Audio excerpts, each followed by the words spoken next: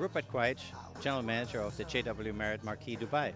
And welcome this evening and congratulations on winning the prestigious World Travel Award. How do you feel?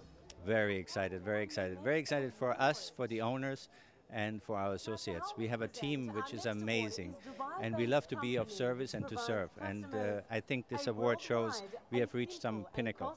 Well, it is very well deserved. It's a beautiful addition to the Dubai skyline. Uh, tell us, what is it that you do differently? This is your first year. What is it that you've done differently to your com competition to ensure that you've won this prestigious award this evening?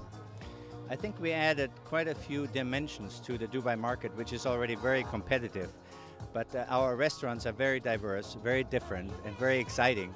And that's what the people want. And our rooms product is amazing. You have the tallest hotel in the world, floor to ceiling windows, and you have amazing views.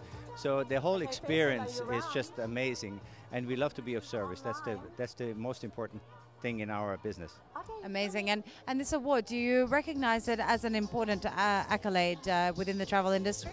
Surely, surely. This is, uh, we are very young. We are very young in our age, so this award is one of our first, and we're very excited about it. So I, I think uh, this will be a very special place in our awards and hopefully more to come. Yeah, no doubt. I'm sure there'll be more to come.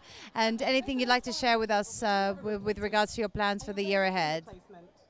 We have uh, two more outlets coming, two more restaurants coming, and we have some. The second tower, obviously, is being built out. So by next year, we will have the second tower, one of the largest hotels in the Middle East. But we really like to be a pinnacle of the service. So intuitive service, JW service, where we read your mind, what you want, and when you want it. That's something we like to do, and uh, we're working hard on that. That sounds absolutely amazing. Uh, congratulations once again, and have a lovely evening. Thank you very much. Very nice to be here. Very nice. Thank you.